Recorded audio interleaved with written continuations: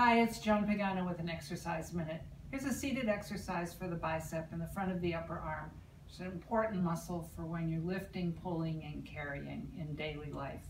Sitting on the chair with your back straight, loop the band under your foot. Be sure to wear shoes for this exercise. When you are anchoring the band with your feet, you need to wear shoes.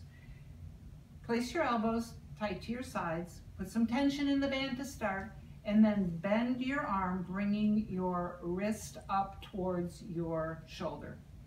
So I'm working my biceps on both sides, and you can do 15 to 20 of these, keeping tension in the band, both when you lift your fist up towards your shoulder and when you release. That's a seated bicep curl. For more tips and resources, please visit my website, joanpaganofitness.com.